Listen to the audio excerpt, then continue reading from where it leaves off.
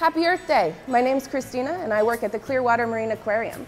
In honor of Earth Day, we put a call out to all of the local elementary schools to come up with a new toy design for our Atlantic bottlenose dolphins. But the trick was you could only use materials that you can recycle, reuse, or repurpose.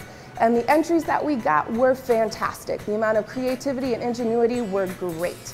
So here's how the contest is going to work. We're going to show our toys to our dolphins and see which catches their attention the most.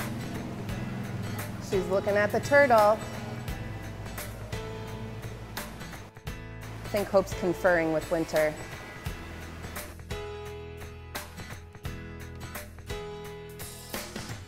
Let's see what she's got. I think she's decided the dolphin is the way to go. Very nice. Let's see let's see that she is, it's the middle one. Yeah, sweet.